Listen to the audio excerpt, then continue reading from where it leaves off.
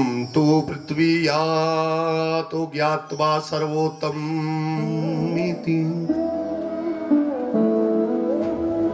पुष्करम च प्रयागम च काशी। गोदावरी तथा। कि मैं पृथ्वी को सर्वोत्तम मानकर भ्रमण करने के लिए आ गया सोचा था पृथ्वी पर जाकर तीर्थों में घूमूँगा और घूम करके मुझे बड़ी शांति प्राप्त होगी। लेकिन जब मैं पृथ्वी पर आया हरि क्षेत्रम कुरुक्षेत्रम, श्रीरंग सेतु बंधनम हरिद्वार में गया, कुरुक्षेत्र में गया, पुष्कर में गया, प्रयाग में गया इन तीर्थों में जाने पर भी मुझे शांति नहीं मिली। इन तीर्थों में भ्रमण करने के बाद मैं सीधे वृंदावन चला गया। सोचा वहाँ शांति मिलेगी। लेकिन वहाँ तो मैंने एक बड़ा ही अद्भुत दृश्य देखा। है सनकादि ऋषि मुनि पूछने लगे, वृंदावन में ऐसा आपने क्या देख लिया मुनिवर? जिस कारण से ना तो आपकी बीड़ा बज रही है ना नारायण नारायण का जप हो रहा है।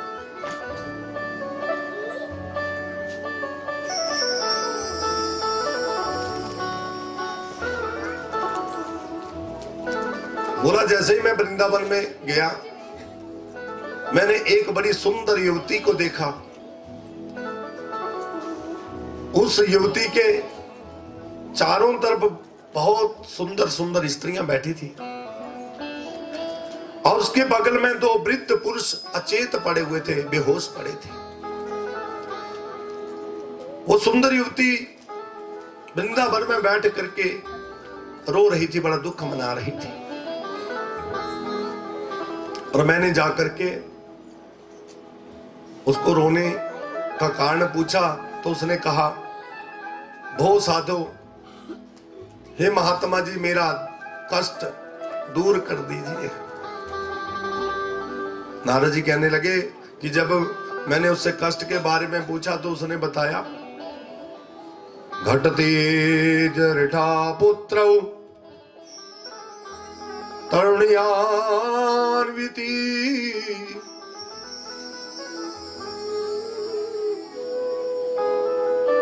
माता बूढ़ी हो जाए, पुत्र जवान हो जाए, ये बात संसार में बड़ी अच्छी लगती है। लेकिन मेरे साथ इसका उल्टा हुआ है। मैं जवान हो गई और मेरे बेटे दोनों बड़े कष्ट में पड़े हैं। ये दुख मुझसे सहन नहीं हो रहा। नारद जी कहने लगे, देवी, ऐसा हो ही नहीं सकता। पिताजी ने सृष्टि में ऐसा कुछ लिखा ही नहीं। कि ऐसा भी हो। बोला महाराज मेरे साथ ऐसा ही हुआ है। नारद जी ने कहा, तुम अपना पूर्ण पता बताओ, पूर्ण परिचय दो। तब मैं समझने का प्रयत्न करूँगा कि तुम्हारे लिए मैं क्या कर सकता हूँ। हे देवी, दुख मत मनाओ, तुम वृंदावन में बैठी हो। भगवान ज़रूर तुम्हारा दुख दूर करेंगे। बोलिए सच्चे दरबार की। आवाज़ कम है। संगत तो चलो कम चलेगी, लेकिन आवाज़ कम नहीं होनी चाहिए।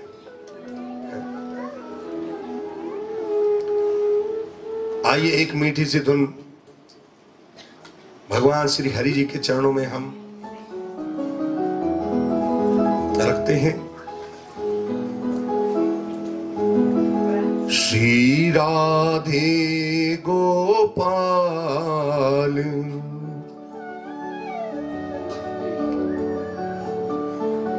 भज मन श्री राधे सभी ने ठाकुर जी के चरणों का ध्यान लगाते हुए ये छोटा सा संकीर्तन करना है। श्री राधे गोपाल। भज मन श्री राधे। श्री राधे।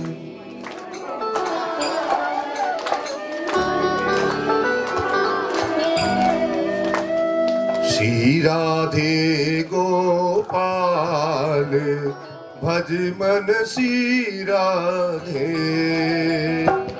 राधे गोपाल, भज मन Shri Radhe. Shri Radhe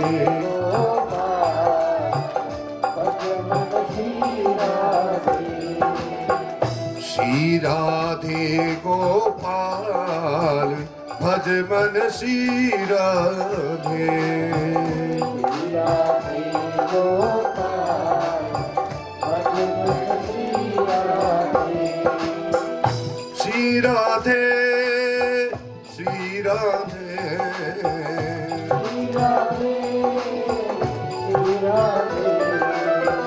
Shri Radhe Shri Radhe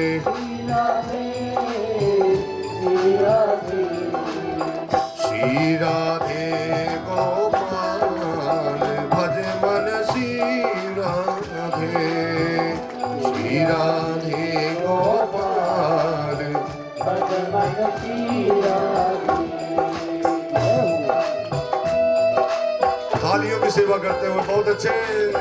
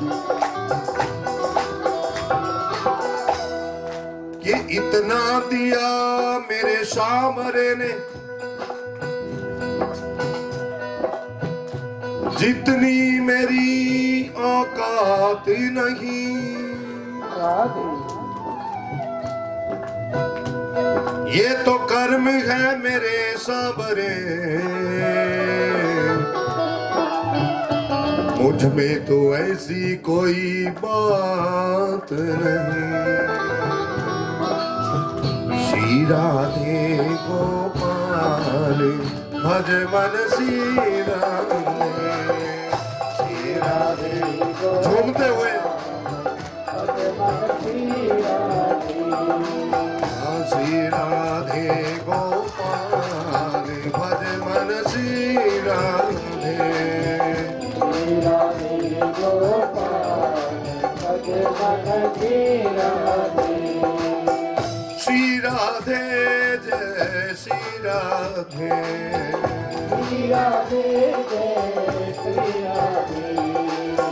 şirade de şamrade Şirade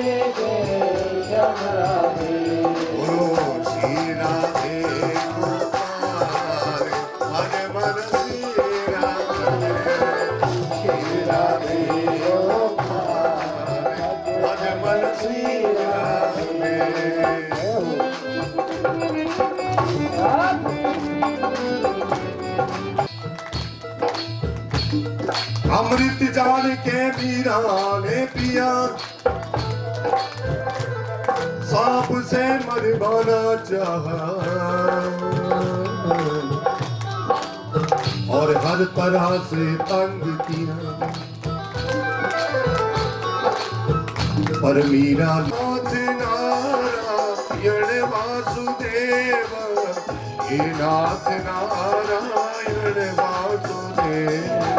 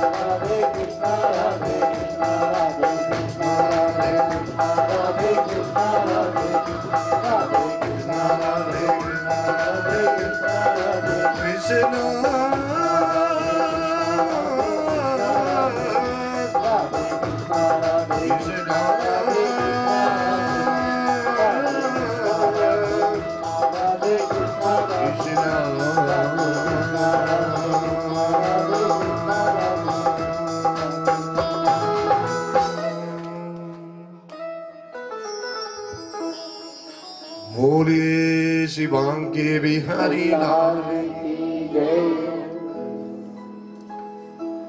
तो देखिए, नारद जी का जो संकल्प था, वो पूरा भागवत से ही हो पाया। अन्यथा देखो, नारद जी देव ऋषि थे, भगवान के सबसे बड़े भगत थे। सब उपाय करने के बाद भी, सब पूजा पाठ करने के बाद भी, भक्ति का कष्ट दूर नहीं हुआ। तो सभी प्रकार के पूजा पाठ सत्संग छोटे हैं कलयुग में। किसकी अपेक्षा? भागवत की अपेक्षा। एक तरफ़ को भागवत रखो, दूसरी तरफ़ मुक्ति के जितने भी साधन है, जप, तप, पूजा पाठ, दूसरी तरफ़। तो भागवत कथा जो है, वो सबसे बड़ा महत्व के कारण आपके सामने आएगा। क्योंकि ये साक्षात भगवान श्री कृष्ण का स्थान है। जिनके हृदय में कलयुग के बीच भक्ति है, वो अगर निर्धन भी है तो निर्धन होते हुए भी सबसे बड़े धनवान है। निर्धनता सहन हो जाती है, मगर सुख शांति होनी चाहिए। सब कुछ सहन होता है, मगर घर में शांति हो।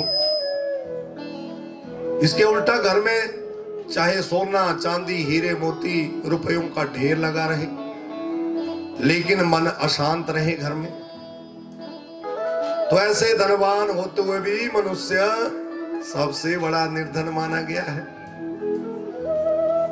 धन के पीछे मत दौड़िए, लक्ष्मी के पीछे मत दौड़िए भागवत के पीछे दौड़िए। भगवान कृष्ण के पीछे दौड़िए। जहाँ भगवान कृष्ण होते हैं, लक्ष्मी तो वहाँ दौड़ दौड़ करके आती है। जहाँ भगवान का निवास होता है, वहाँ तो अपने पति से मिलने के लिए लक्ष्मी को आना ही होगा। जहाँ भगवान होते हैं, वहीं सुख समृद्धि और शांति बनी रहती है। बड़ा ही मधुर प्रसंग मैंने आपको सुनाया। इस मधुर, ज्ञानप्रद प्रसंग को सुन करके अठासी हज़ार ऋषि मुनि मंत्र मुग्ध हो गए। देव ऋषि नारद जी भी मंत्र मुग्ध हो गए और उन्होंने एक प्रश्न और किया। नारद जी बोले कि क्या कोई पापी भी भागवत की कथा से पवित्र हुआ है अथवा नहीं हुआ है? ये प्रश्न पूछा।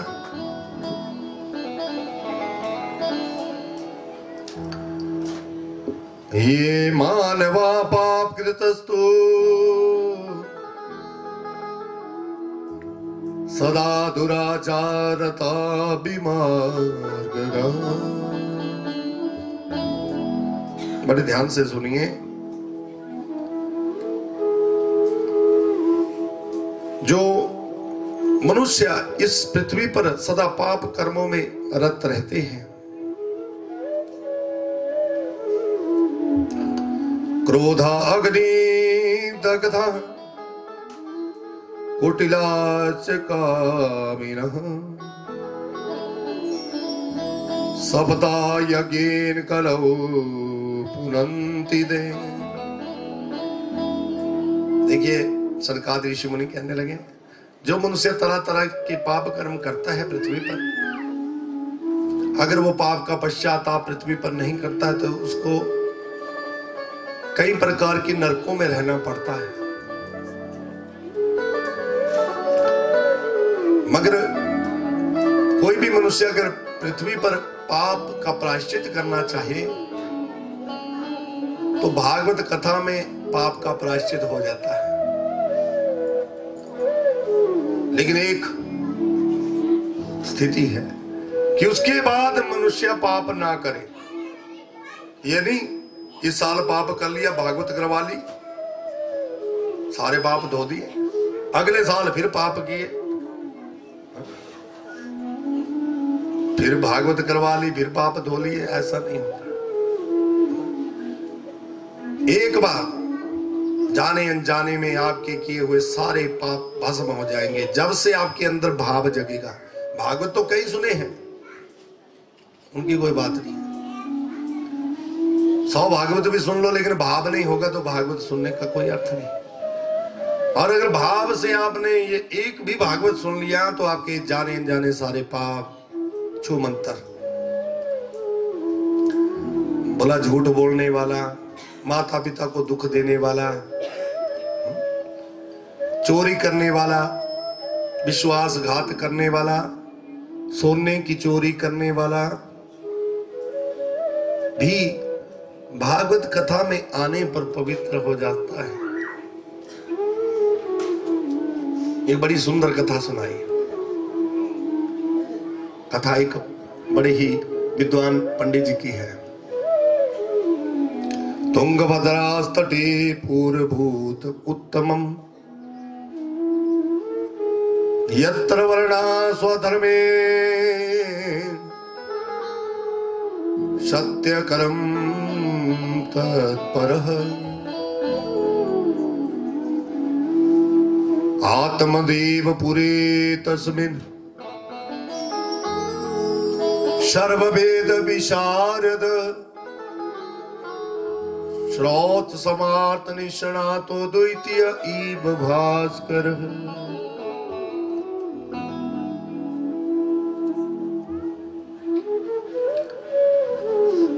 बड़ी सुंदर कथा है, बड़े ध्यान से सुनिए।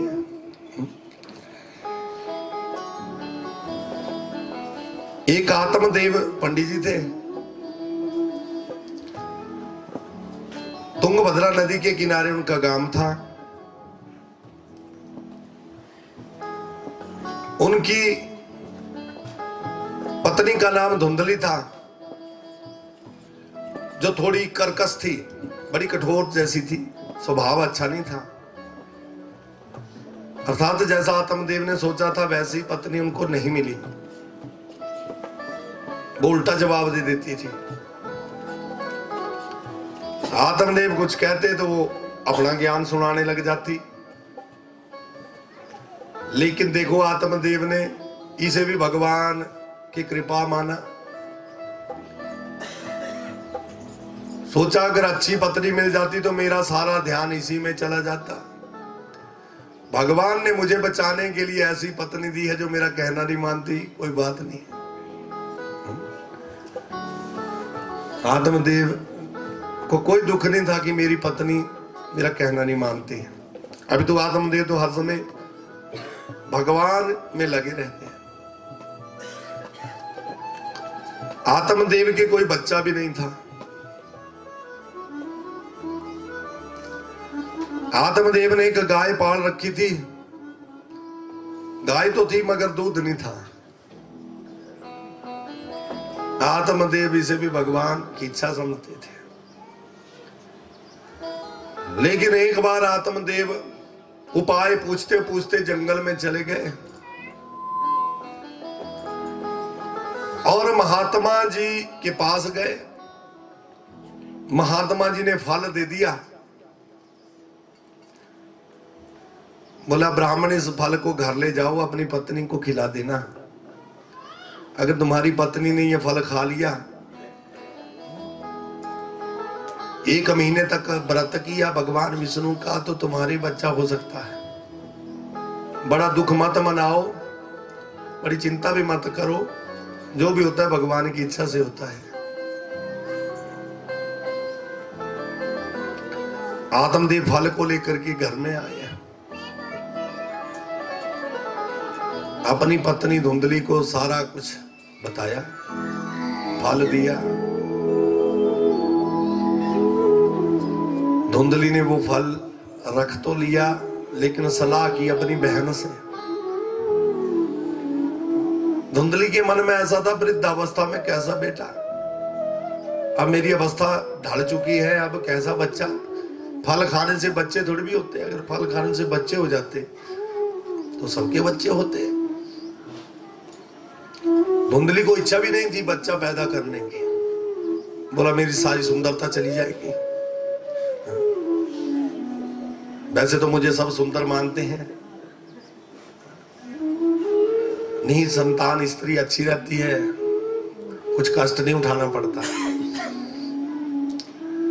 बहन ने बोला, अगर तेरी इच्छा है तो तू तिरिया चरित्र कर। तेरा घर भी बस जाएगा, किसी को पता भी कुछ नहीं चलेगा।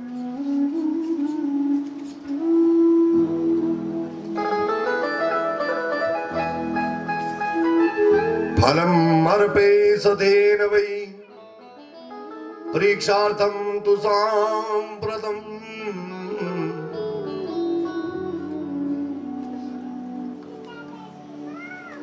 भाई, परीक्षा कर ले अपने पति की। तेरा पति सच बोल रहा है, झूठ बोल रहा है।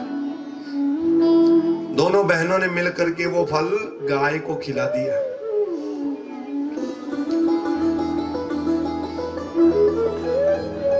संत का दिया हुआ फल। देखो, गाय माता को प्राप्त हुआ।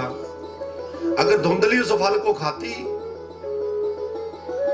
तो निश्चित रूप से एक सत्य पुत्र प्राप्त होना था। अच्छा पुत्र। ऐसा पुत्र होना था जिसने कि कुल के दीपक बनना था। कुल के यश को आगे बढ़ाना था।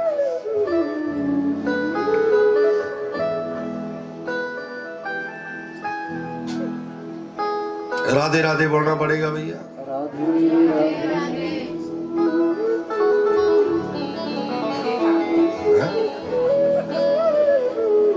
ज़ोर नहीं है?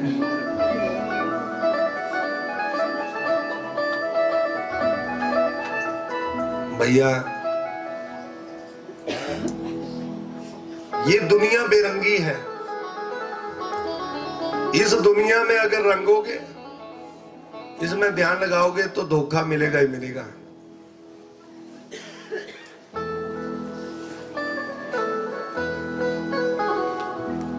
देखो कितना बड़ा धोखा पत्नी से मिला।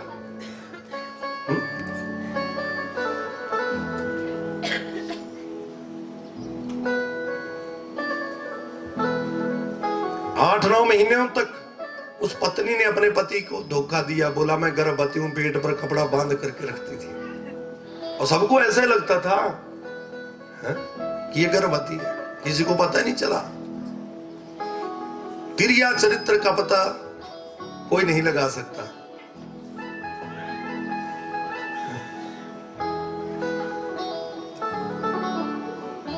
सनकादि ऋषि मुनि कहने लगे, नारद जी पाते ही उसने अपने बहन के जो बेटा हुआ, उसको अपना पुत्र बना करके अपने पास रखा। बदले में अपनी बहन को खूब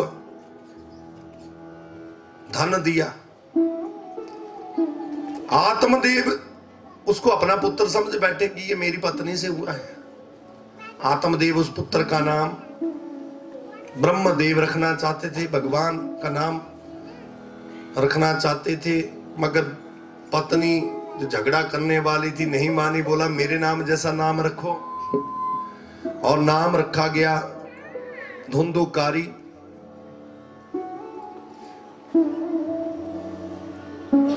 और ये महामुनि नारद फल खाने के फल स्वरूप गाय ने बड़े ही सुंदर पुत्र को जन्म दिया।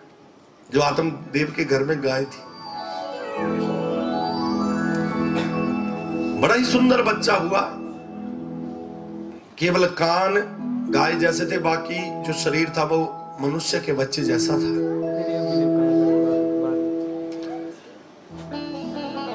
आत्मदेव ने इसे भी भगवान की इच्छा समझ करके अपने पुत्र की भांति मान लिया। कि पहले मैं एक पुत्र के लिए रोता था। अब भगवान ने मुझे दो दो पुत्र दे दिए। बड़े प्यार से आत्मदेव ने इस पुत्र का नाम गोकर्ण रखा।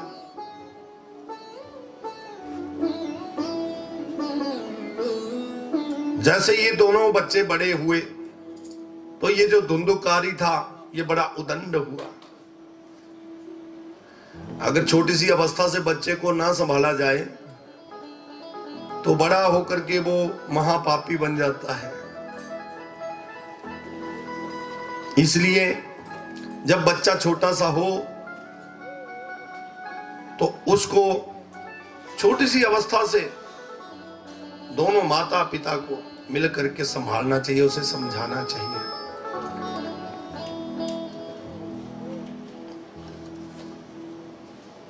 तो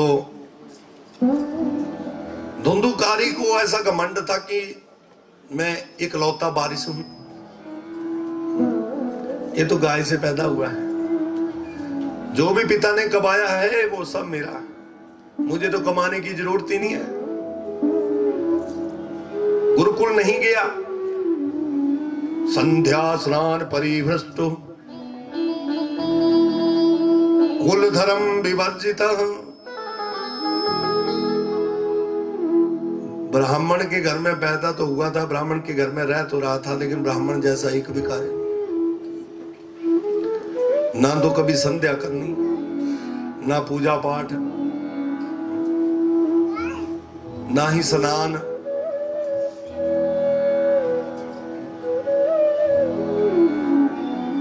भ्रष्टमती हुआ मदिरा पान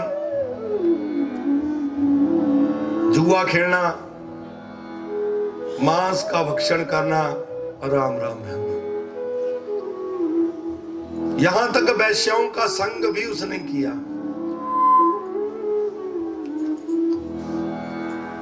भगवान ऐसी बुराई किसी भी बालक में ना करे। सारी बुराइयाँ मानो उस धुंधुकारी को दी हुई हैं। वो दी किसने? माँ ने। माँ ने रोका ही नहीं। जब वो बिगड़ रहा था तो उसकी बुराइयों को छिपाया।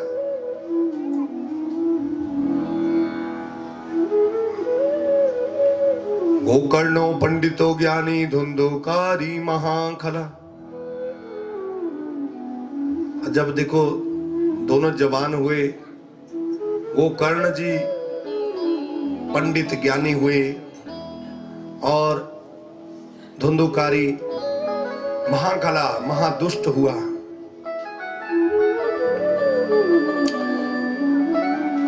अपने पिता की संपत्ति को बेचने पर आमादा हो गया। और एक दिन आत्मदेव ने अपने बेटे धुंधुकारी को बैठा करके समझाया। समझाने लगे, बेटा, ये तो क्या करता है? मदिरा पान पी करके तू घर आता है। बेटा, मैंने पूरा जीवन भर बड़ी, कड़ी मेहनत की। और बड़ा मान सम्मान कमाया है। और बेटा, अगर तू ऐसे कार्य करेगा तो हमारे कुल पर कलंक लग जाएगा। बेटा तो मुझे बहुत प्यारा है। मेरा प्रिय है तो। देखो, पिता को अपनी संतान बहुत ज़्यादा प्यारी होती है।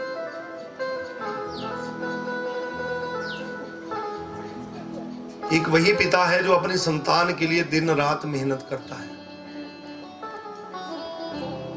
अपने लिए उसको करने की ज़्यादा ज़रूरत नहीं है, उसका पेट ऐसे भी भर जाएगा। थोड़ी सी मेहनत करने से भी वो अपना, अपनी पत्नी का पेट भर सकता है।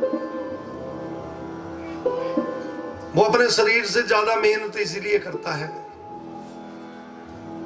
कि जो मेरे बच्चे हैं, मेरे बेटे हैं अथवा बेटी है, उनको कोई जीवन में कष्ट ना आए।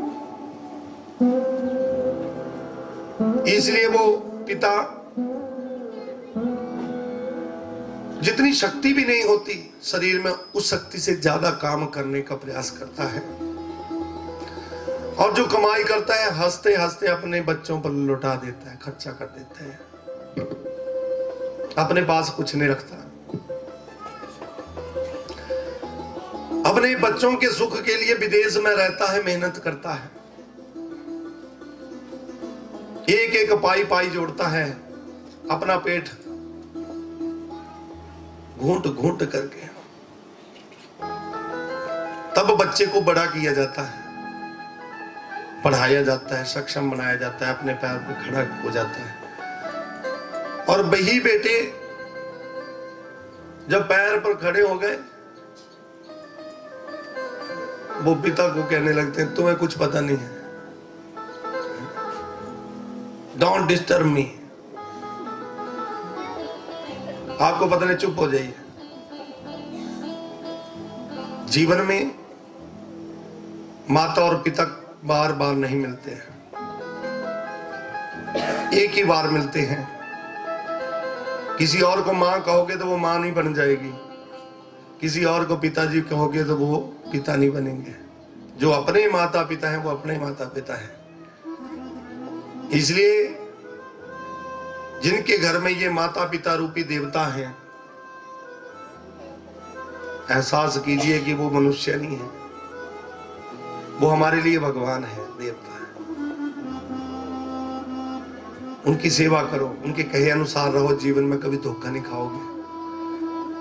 जो अपने माता पिता की सेवा में रहता है, उनकी आज्ञा का पालन करता है, उसके जीवन में सदा सुख, शांति बनी रहती है। और उसके विपरीत जो माता पिता से विरोध कर जीता है उसके पास दुनिया की दौलत भी आ जाए उसके जीवन में कभी शांति नहीं होगी।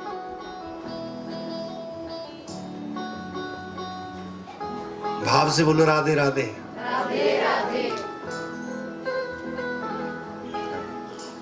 देखो वो बड़ा उदंड था जवान भी था। बोला बुढ़े तो सठिया गया है। हम्म? तेरा समय निकल गया, अब हमारा समय आ गया है। बोला, रहना है तो चुपचाप घर में, पड़ा रह करे कोने में। मुझे ज्ञान मत देना। जैसे ही बेटे से ये शब्द सुने, आत्मदेव, बड़े भारी दुखी। बोला, दुष्ट निकल जा मेरे घर से। मैं तुझे अपने घर में नहीं रखूँगा। तू मुझे सठिया गया बोल रहा है। आज तक जीवन भर जो भी किया मैंने, वो आज तेरे लिए ही किया। और नशे की हालत में वो पुत्र था ही, उसने क्या किया? हाथ उठा दिया अपने पिता के ऊपर। और आत्मदेव का सारा भ्रम टूट गया कि ये मेरा पिता है, ये मेरा पुत्र है, ये रिश्तेदारी होती है। आत्मदेव का मन इतना विचलित हुआ कि उसको लगा कि संसार में उसका कोई नहीं है।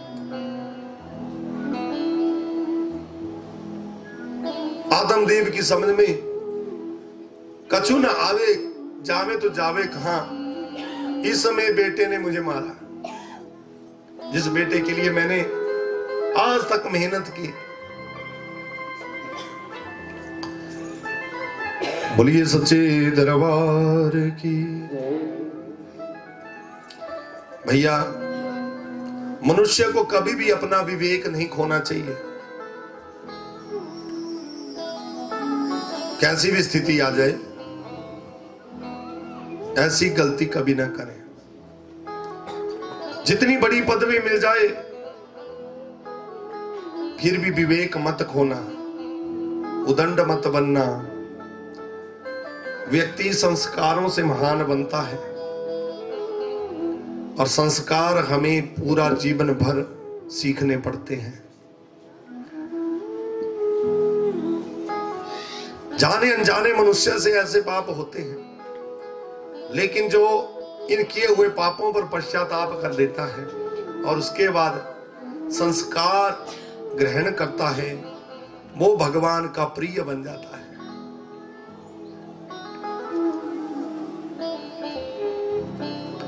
आइए। जीवन में एक परम लक्ष्य रखें कि हमने बुरे संस्कारों का त्याग करना है। और जहाँ से भी अच्छे संस्कार ग्रहण हो, वहाँ ज़रूर जाना है।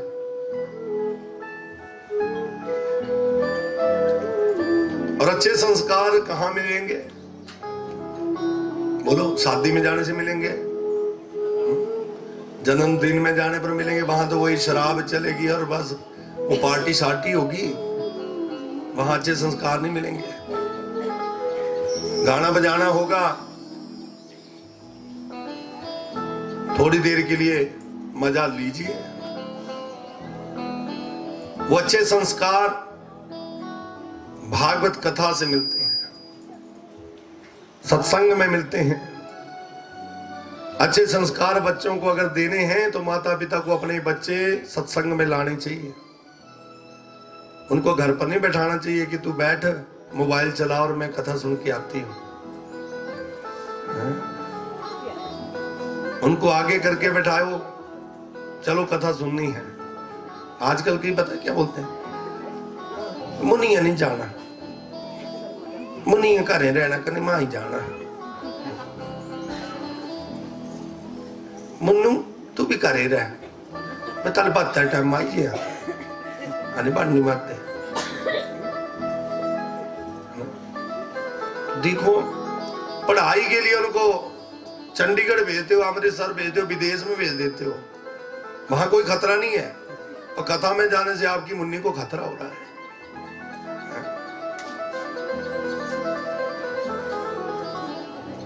गलत बात। सब काम छोटे पड़ जाते हैं। अगर जीवन सुधारना है अपने बच्चों का, अगर उनसे कुछ सेवा करानी है तो भैया भागवत में ले आओ, अगर बड़े हो गए तो फिर आपके लाने पर भी वो नहीं आएँगे। अभी थोड़ा डर है तो बैठ जाएँगे। तो तभी सुख मिलेगा, तभी शांति मिलेगी। प्रेम से बोलो राधे राधे। एक भजन हो जाए।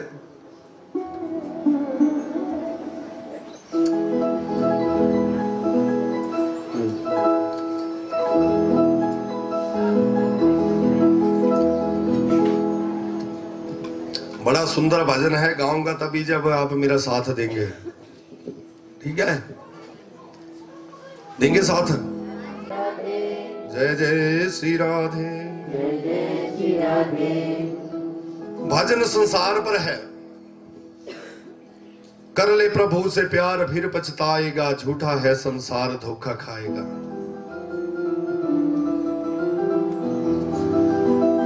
हो कर ले प्रभु से प्यार, फिर पछताएगा। अगर अभी प्यार नहीं किया तो बाद में पछताना पड़ेगा। क्योंकि दुनिया में कोई सच्चा प्रेमी नहीं है, भगवान के सिवा। हो कर ले प्रभु से प्यार, फिर पछताएगा। कर ले प्रभु से प्यार, फिर पछताएगा। झूठा है संसार, धोखा खाएगा। झूठा है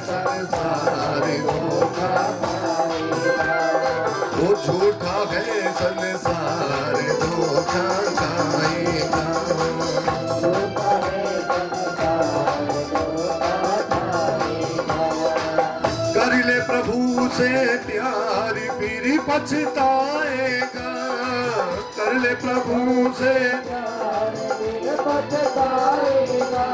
वो झूठा है झूठा है झूठा है संसार, झूठा है संसार धोखा आएगा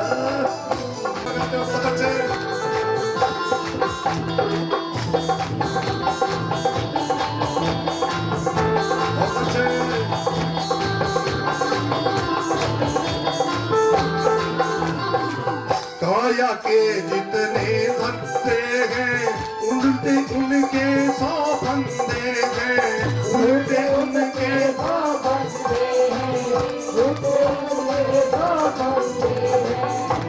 उजले और मन गंदे हैं। आँखों से बिल्कुल अंधे हैं। आँखों से बिल्कुल अंधे हैं।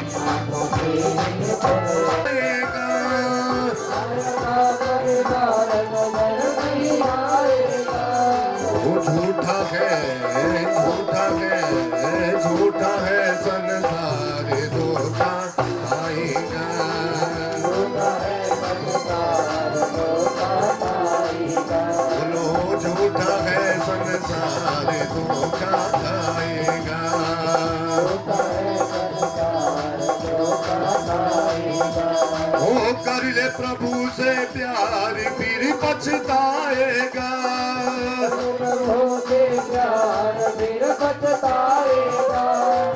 झूठा है झूठा है झूठा है झूठा है संसार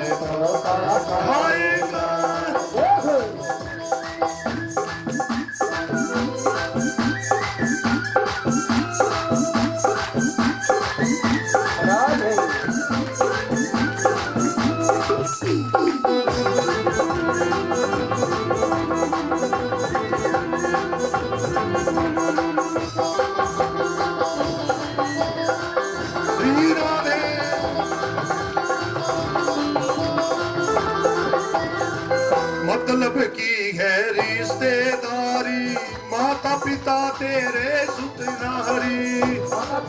तेरे सत्कारी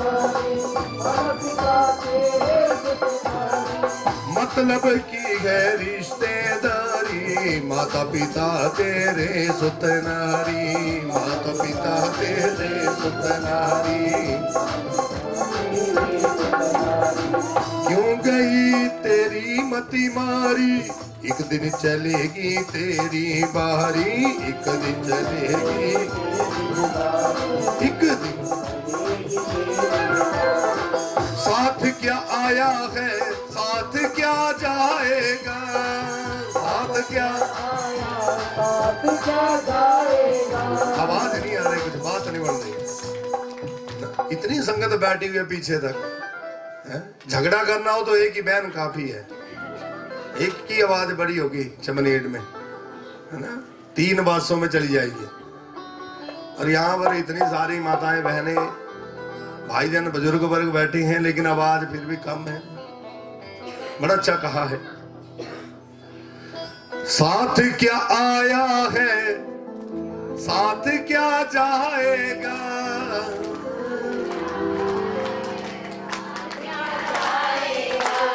खिचड़ी नहीं डालो। साथ क्या आया है? साथ क्या जाएगा? साथ क्या आया है? साथ क्या जाएगा? झूठा है संसार धोखा खाएगा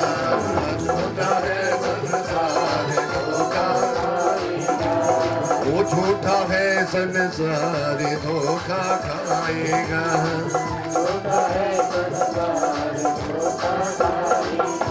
वो कर ले प्रभु से प्यार फिर पछताएगा।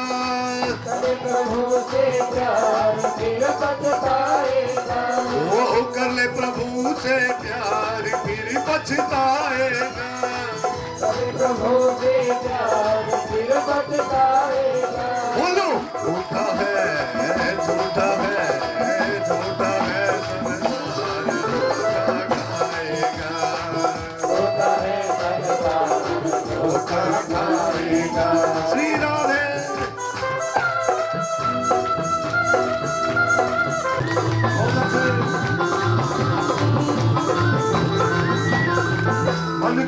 प्रभु चरणों से लगा ले। जीवन को तू बना ले तू बिगड़े काम बना ले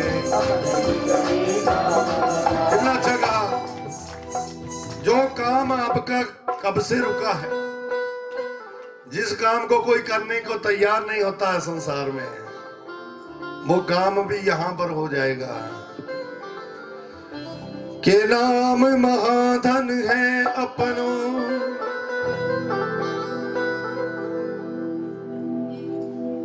नहीं दूसरी संपत्ति और कमानी।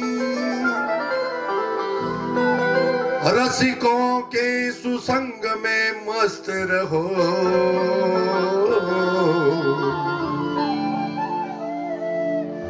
हमने कुटिया वृंदावन पानी।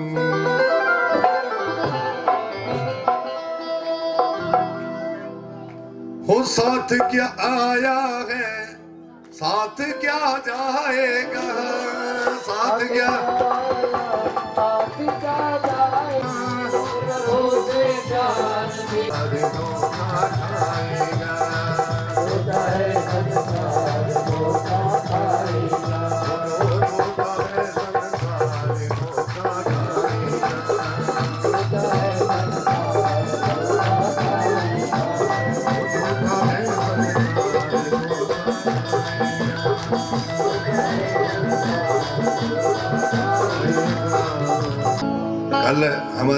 यहाँ पर एक भजन हुआ था। बड़ा अच्छा गाया था इन्होंने। ओ पत्ते सरी सर कर देने, पत्ते। उना तेनू लुट लेना, ओ उना तेनू लुट ਲੈਣਾ ਜਿਹੜੇ ਹਿੱਕ ਨਾਲ ਲੱਗਦੇ ਨੇ ਉਹ ਜਿਹੜੇ ਦਿਲ ਨਾਲ ਲੱਗਦੇ ਨੇ हाँ? जो आपके छाती से लगते हैं आपके बड़े प्यारे हैं वही एक दिन आपको लूट लेंगे आपका सब कुछ ले लेंगे जमाने दी ਇਸ ਨੂੰ ਨਜ਼ਰ ਲੱਗ ਨਾ ਜਾਵੇ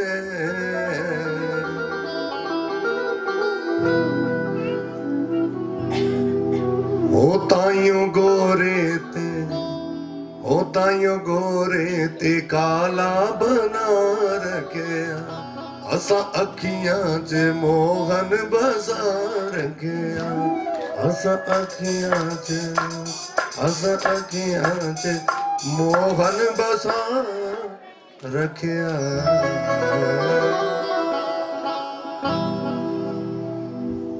तो देखो, उस पिता का क्या हाल हुआ होगा? बोला, सठिया गया है, चुपचाप घर में रहना तो एक कोने पर पड़ा रहे। जो मैं करता हूँ, उसको चुपचाप देखा कर। मुझे ज़्यादा उपदेश नहीं चाहिए। एक दो बार मारपीट कर दी। दिन आत्मदेव का मन घर में नहीं लग रहा था। क्योंकि बेटा बाहर गया था, पता नहीं कौन से ठेके पर बैठा है। कब आएगा, कब मुझे मारेगा, बड़ा भय लग रहा था। घर में सब कुछ है, मगर सुख शांति नहीं है।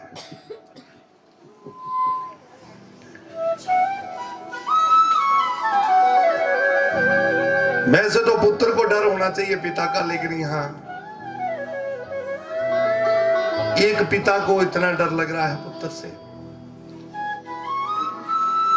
वो गोकर्ण जो गाय से पैदा हुए थे, वो गुरुकुल से आए हैं। गुरुकुल से आए तो अपने पिता को रोते हुए देखा। खून के आँसू थे वो वो जल के आँसू नहीं थे। पूछा पिताजी, यह आप क्या कर रहे हैं? आप महाज्ञानी पंडित हैं, वे शास्त्रों को जानने वाले, जानकार हैं। आप जैसे विद्वान यहाँ पर रो रहे हैं अपने घर में। क्या हुआ है? क्या बात है?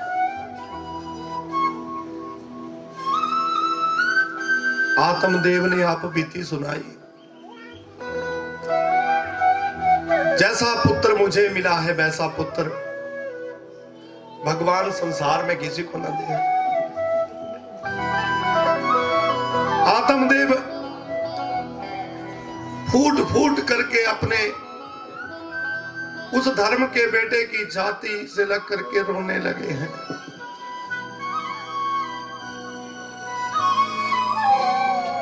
रात दिन बहुत कड़ा परिश्रम किया था। बड़ा मान सम्मान कमाया था। आज सारा मान सम्मान मैं भूल चुका हूँ। आज मैं अपने घर पर रहने से ही डर रहा हूँ।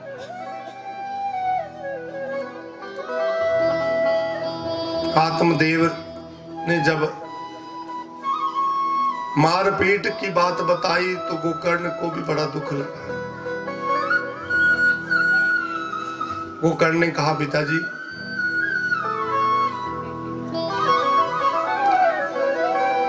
ये संसार असार है। इसमें अपनी मति को ज़्यादा नहीं खपाना चाहिए। ये पिताजी, ये दोनों ही स्थितियों में दुखदाई है। अगर अच्छा पुत्र होगा, अगर वो अलग हो जाए, तब भी दुख लगता है। और अगर को पुत्र हुआ, वो तो दुख ही दुख देता है। परमे को गुणी, पुत्रो न च मूर्खतान्यपि एकश्चन्द्रातमो हन्ति न च तारागणोऽपि बोला पिताजी अच्छा हुआ जो आपको ठोकर लग गई संसार से। आप इसे भगवान की कृपा क्यों नहीं मानते? बड़ा सुंदर उपदेश दिया। देहे अस्थिमास रुधिरे अभिमतिम त्यक्त्वम जाया सुतादिषु सदा ममता विमुञ्च पश्यनं जगदम निष्ठः। हे पिताजी, संसार कभी किसी का नहीं हुआ। पुत्र से कोई सुखी नहीं हुआ। ज़्यादातर पुत्र से दुखी हुए हैं। राजा सागर के साठ हज़ार पुत्र थे। उनको अपने साठ हज़ार पुत्र गवाने का दुख लगा तो मृत्यु हुई। राजा दशरथ के श्री राम जैसे पुत्र थे, चार पुत्र थे, अच्छे से अच्छे, एक से एक बढ़कर। लेकिन ऐसा समय आया उन्हीं पुत्रों की वजह से। उनसे अलग होने की वजह से राजा दशरथ को प्राण छोड़ने पड़े। ठीक ठीक। ये संसार असार है। हे पिताजी आप अपने पुत्र से दुखी होकर के रो रहे हैं। अरे देह अस्थि। ये शरीर भी आपका अपना नहीं है, ये भी एक दिन साथ छोड़ता है। और ज़िंदगी का वैसे भी कोई भरोसा नहीं है श्वास आए या ना आए। यह है किसी को भरोसा। ढूंढ रहा है सुख। हरि भजन बिना सुख नहीं।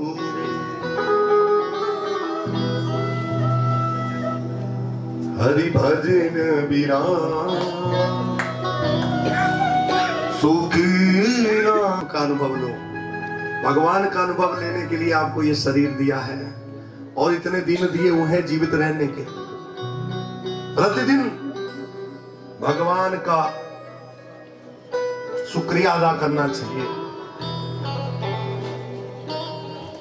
भाई, बेटे ने ज्ञान दिया पिताजी।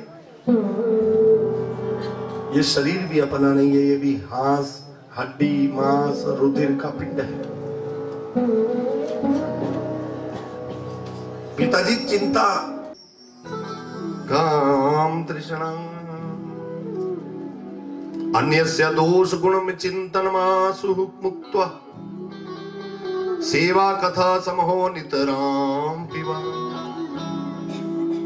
पिताजी, धर्म का पालन कीजिए।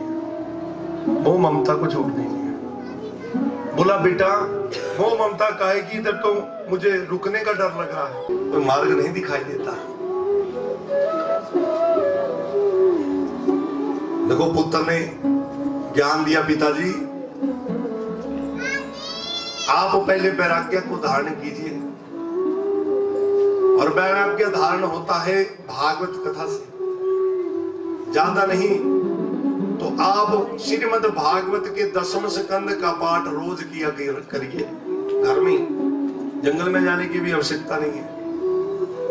पिताजी, उस पाठ से आपको वैराग्य हो जाएगी कि सुबह अपने गाँव वालों से मिल लूँगा। लेकिन आधी रात में वो प्रेत आत्मा भटकती हुई आ गई और भटकती हुई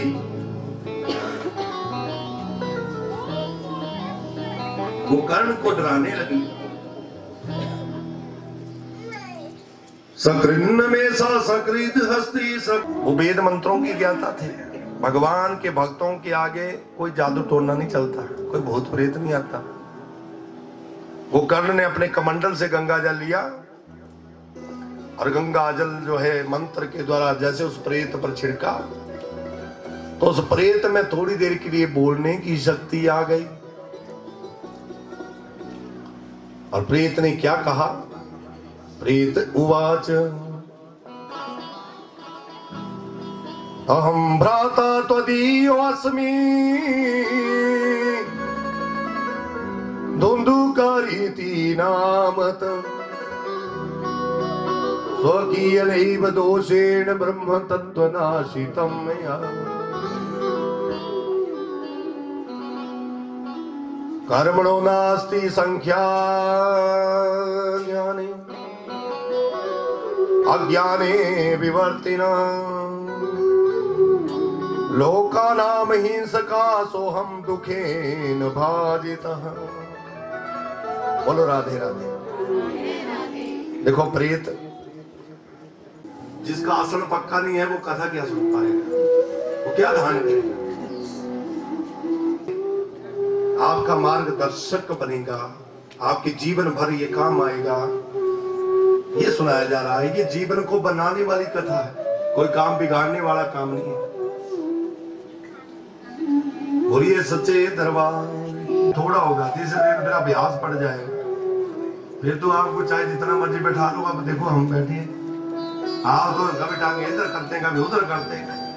कभी जेठानी की तरफ़, कभी देवरानी की तरफ़। लेकिन हम जो बैठते हैं वैसा एक आसन में बैठते हैं, अभ्यास। तो कुछ नहीं होगा, शरीर को जितना कष्ट दोगे, उतना ही आनंद भोगोगे। पावत नाही